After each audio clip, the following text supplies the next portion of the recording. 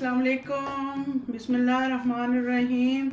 क्या हाल हैं जी? सबके आप सब ठीक हैं? माशाल्लाह, उम्मीद करती हूँ सब ठीक होंगे। तो आपने मेरी चटनी वाली रेसिपी बहुत पसंद की है, माशाल्लाह जी। बहुत खुशी हुई है। बहुत शुक्रिया सब बहन भाइयों का। अल्लाह पाक खुश रखे आप सबको। और आज हम बना रहे हैं बहुत मज़े के नूडल। स्पाइसी नूडल नूडल बना रहे हैं हम नूडल सलाद। ये हम आपको बताते हैं कितने नूडल चाहिए कितने इनमें जो जो चीज़ें डलनी है वो हम आपको ये देखें जी बिस्मिल्लाहिर्रहमानिर्रहीम ये देखें जी हमने नूडल ले लिए 400 ग्राम और तर ले लिए हमने तर का तीसरा हिस्सा और टमाटर एक बड़े साइज़ का ले लिए मैंने इसको चॉप कर लिया इसको भी चॉप कर लिए और सलाद के पत्ते, पाँच से सात पत्ते मैंने लेके बारीक काट लिए, बहुत बारीक सा काटा है मैंने।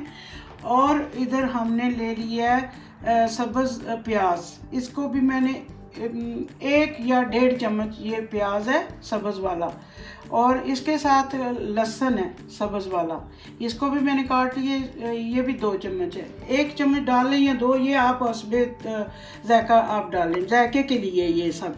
और चूरा मिर्चें मैंने ली हैं आधी चम्मच, नमक लिया मैंने आधी चम्मच, और लाल मिर्च मैंने लिए चौथाई हिस्सा। अब प्याज सफ़ेद प्याज लिए मैंने आधा छोटा सा, छोटे साइज़ का आधा। और मैंने लिया धनिया फ्रेश ताज़ा धनिया लिए मैंने। ये भी दो बड़े, दो तीन बड़े चम्मच हैं ये। और ये मैंने हरी मिर्च ली है, ये कड़वी नहीं है। ये बड़ी, बड़े साइज़ की जो मिर्च होती है, ये एक ली है मैंने। इसके साथ हमने पाँच चम्मच ली है मायोनेज़ पाँच चम्मच मैंने ली है केचप और एक बड़ा चम्मच मैंने लिया जेट्रोन लेमन अब चलते हैं, हम इनको मिक्स कर रहीम ये देखें जी, हम नूडल डाल रहे हैं। अभी हम आपको बताते हैं, हमने इसमें क्या क्या डालना है, कैसे करना है मिक्स इसको। रहीम माशाल्लाह माशाल्लाह। ये बच्चों को बहुत पसंद है, ये चीज़ें बच्चों को बहुत पसंद है। रहीम ये देखें जी, हमने चूरा मिर्चें ले ली है, नमक और लाल मिर्च। रहीम इस, इसको पहले मैं अच्छे से मिक्स करूँगी। बिसमीम ये देखें जी, प्याज और सब्ज़ धनिया, ये मैंने काट लिया था, पहले मैंने बताया, ये हम डाल रहे हैं। बिसमीम अच्छे से इनको मिक्स करना है। ताकि पता चले क्या क्या चीज़ें इसमें डली हुई हैं। इसके जैके के लिए ये डाला है हमने थोड़ा थोड़ा क्योंकि ये बच्चे खाते हैं, बहुत शौक़ से, माशाल्लाह, बिस्मिल्लाह रहमान रहीम। ये देखिए जी, टमाटर हम डाल रहे हैं, अब इसमें। अब हम डाल रहे हैं इसमें सलाद। माशाल्लाह माशाल्लाह। ये तो अभी से ही बहुत प्यारा लग रहा है और कलरफुल माशाल्लाह माशाल्लाह। ये हम खीरा तर डाल रहे हैं। बिस्मिल्लाह रहमान रहीम ये बहुत मज़े का सलाद बनता है।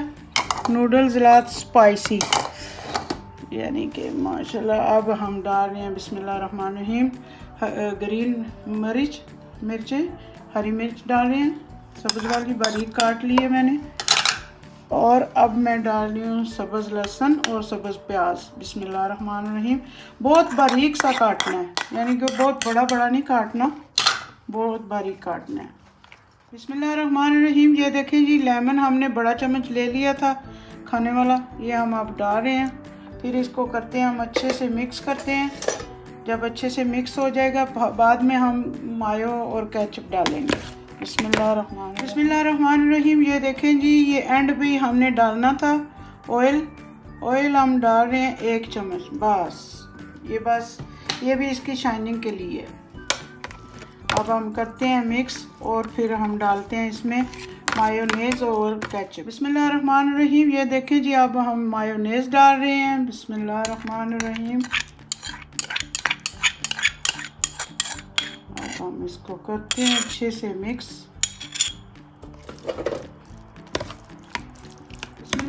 रहीम ये देखे जी, अब हम कैचअप डाल रहे हैं। रहीम अब इसको करते हैं मिक्स अब बहुत माशाल्लाह कलरफुल रहीम ये देखें जी हमारे स्पाइसी नूडल्स ज़ला तैयार हो चुका है। अब अब मैं करती हूँ इनको डिश आउट फिर दिखाते हैं जी ये देखें जी हमारे नूडल तैयार हो चुके हैं माशाल्लाह नूडल जिला स्पाइसी आप खाएँ, मज़े करें और बच्चों को खुश करें, बड़ों को भी, बच्चों को भी। और प्लीज़ लाइक करें शेयर करें सब्सक्राइब करें और प्लीज़ कमेंट्स भी लिख कर भेजा करें ताकि बहुत खुशी होती है पढ़ के। और अपना ख्याल रखें, बड़ों का, बच्चों का ख्याल रखें। अल्लाह पाक आपको हिफ्जमान में रखे और दुआ में याद रखना। मैं भी आपको सबके लिए दुआ करती हूँ। अल्लाह हाफिज़ इन मिलते हैं।